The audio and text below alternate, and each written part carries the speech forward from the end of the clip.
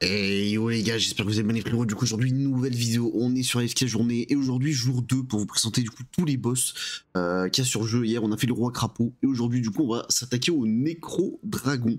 Voilà, faut bien le dire, attention.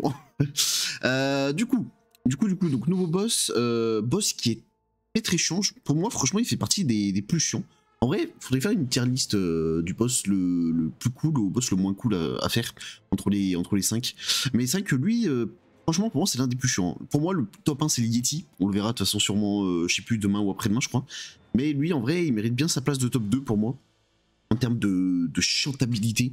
Euh, parce qu'en gros, la particularité de ce boss, c'est qu'il faut jouer du coup des persos qui bougent. alors pourquoi des persos qui bougent? Parce que vous allez voir qu'il va mettre une, une, zone en fait sous vos persos. Et s'ils bougent pas, au bout d'un moment, ils vont se prendre des dégâts. Euh, on va regarder ça ensemble, les gars. On va lire ses sorts et tout, parce que c'est vrai qu'on fait le boss depuis euh, maintenant un mois. Mais euh, est-ce est que beaucoup ont déjà lu ses sorts, les gars? Est-ce qu'il y en a qui ont déjà lu ses sorts à fond? Quelques-uns, mais je pense pas tout le monde. Et après, on regardera du coup les, les différentes compos à faire.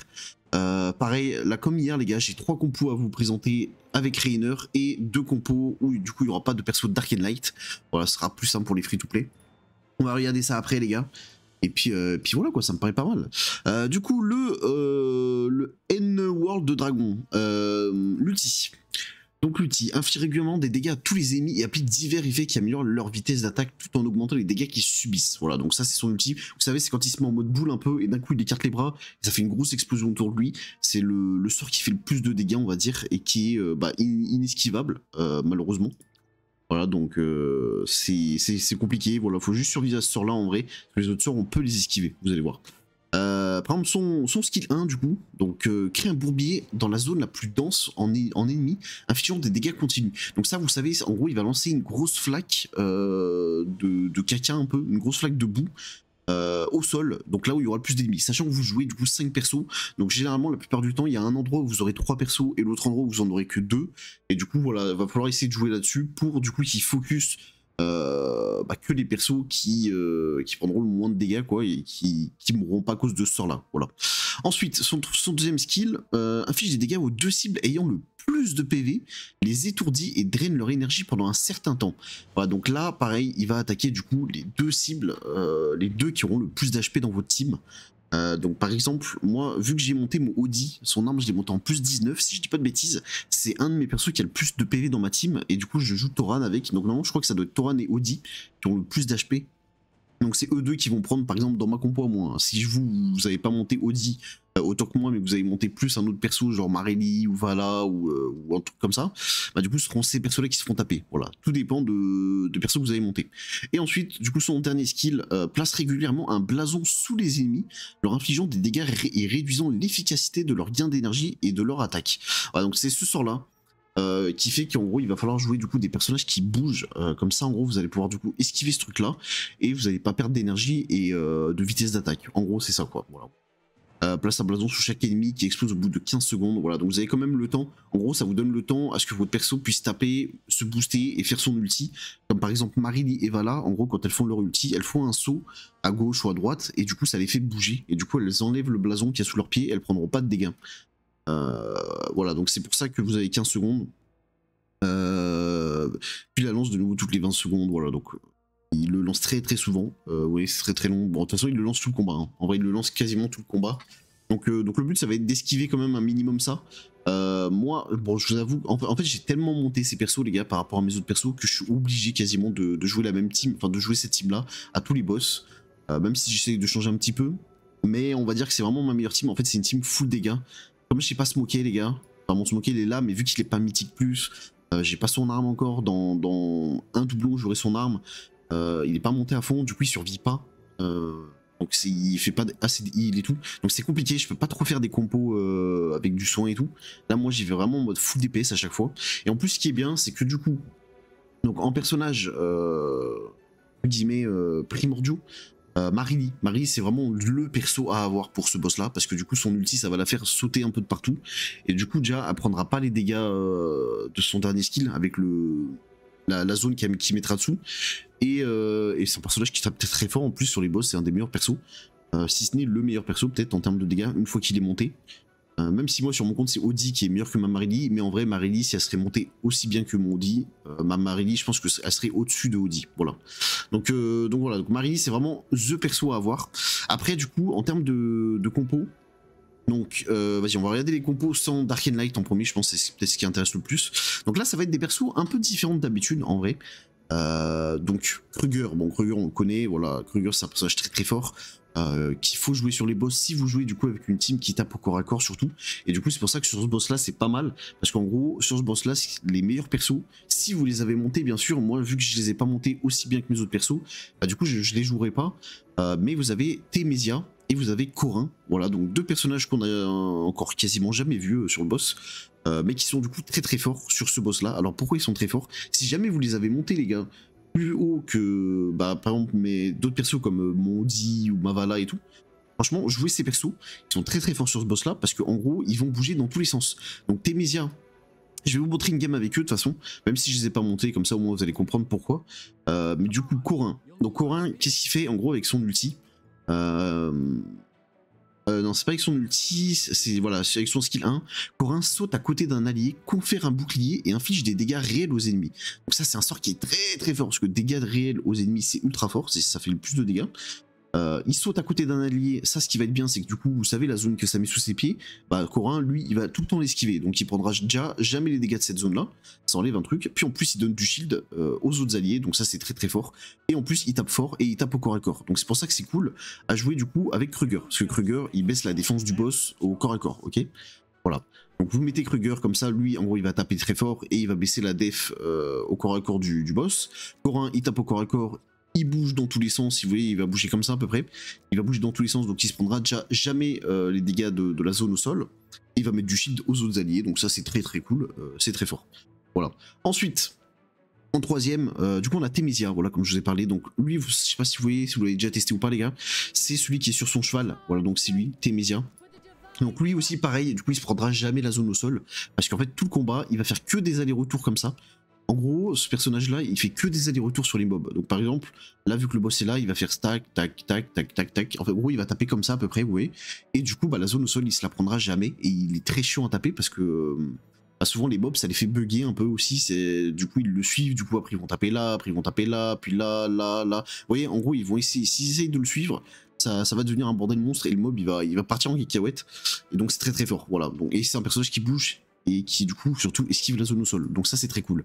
Et aussi qui du coup tape au corps à corps. Donc ce qui va bien avec Kruger aussi. Parce que c'est vrai que Kruger si vous le jouez et que vous jouez que des persos distance comme par exemple moi je fais avec Vala, Audi et euh, Marily, bah, Kruger en, fait il servira à pas grand chose parce que du coup la dev qui réduit au corps à corps elle me servira à rien vu que c'est des persos de distance moi que je joue. Mais là vu que vous jouez euh, soit Corin soit Temesia vous n'êtes pas obligé de jouer les deux en même temps. Si bien sûr vous n'avez pas monté les deux les gars vous pouvez mettre que votre Corin ou que votre Temesia selon ce que vous avez monté.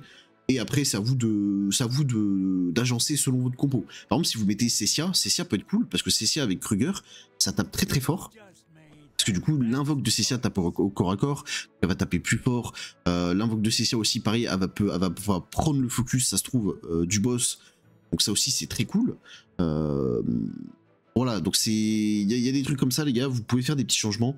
Euh, comme je l'ai dit hier, c'est selon votre box, vraiment, selon votre box. Après, je vous montre les meilleures personnes, on va dire, sur le boss, euh, par rapport à ses sorts et tout. Mais euh, vous pouvez faire des petits, des petits agencements, ok? Voilà. Marily, comme je l'ai dit, c'est le meilleur personnage sur ce boss-là, donc vraiment, il faut la jouer.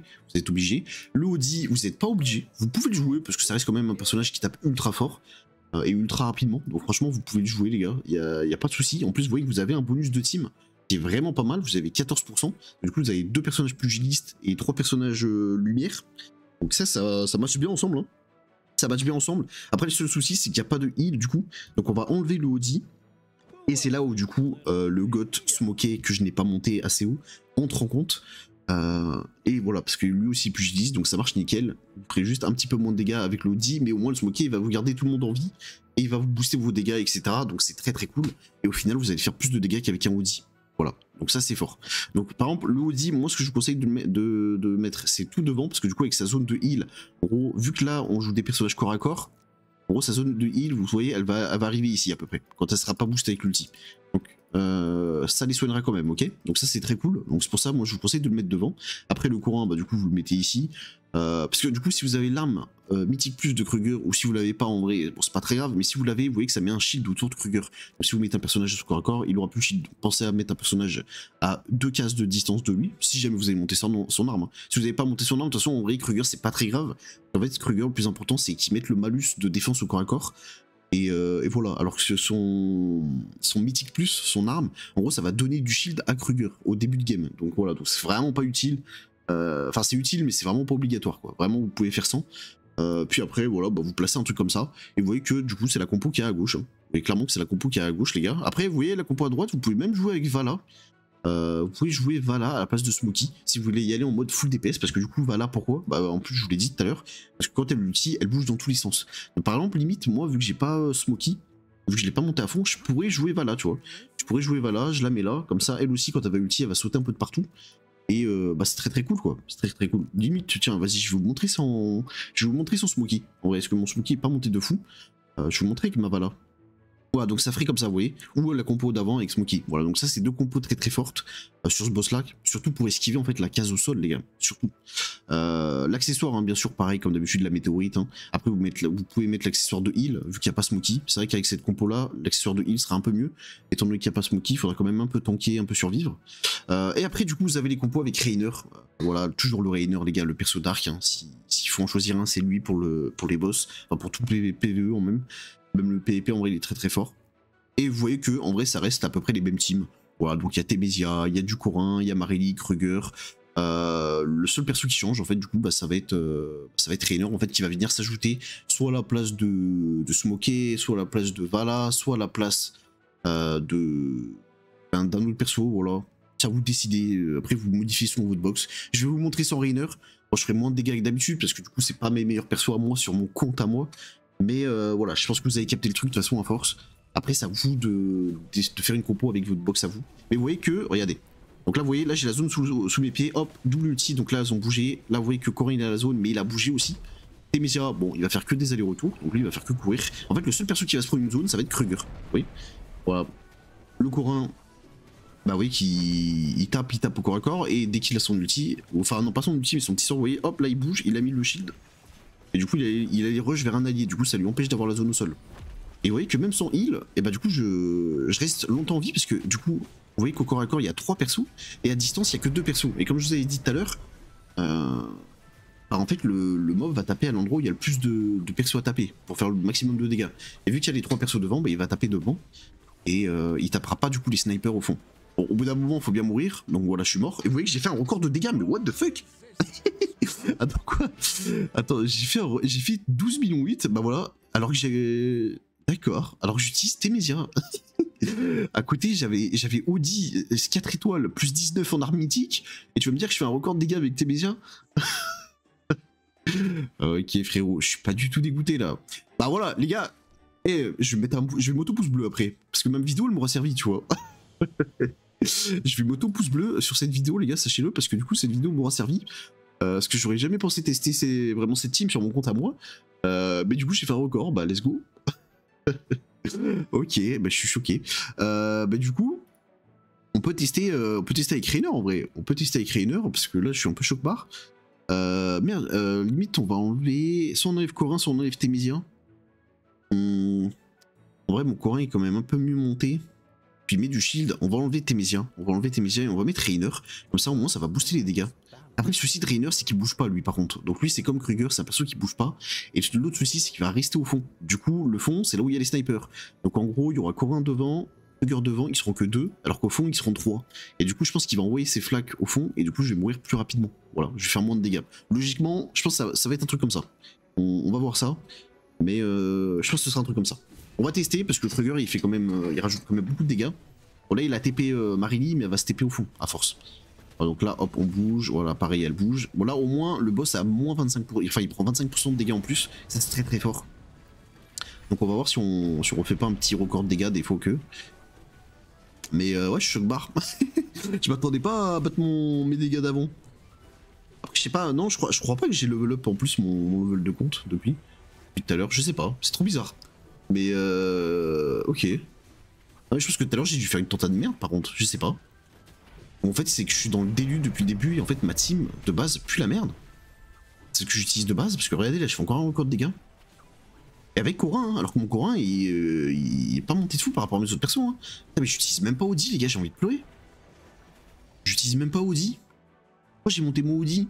je suis dégoûté dégoûté. Mais ok, mais vous voyez qu'il y a des boss vraiment, des fois tester des persos les gars, même si vous pensez que ça va pas passer, et bah vous voyez que Corin 3 millions 8, what the fuck, mon Corin qui est plus 0 en arme, en arme mythique, 3 millions 8, il a fait il a fait plus que Vala, qui est 3 étoiles, d'accord. Je suis pas du tout dégoûté d'avoir invoqué sur Vala. mais voilà, j'espère que ça vous aura aidé les frérots, j'espère que vous aurez compris peu le, la vibe de ce boss là. Euh, et si les persos, si jamais vous voulez voir revoir le screen, vous l'avez sur Discord en épinglé.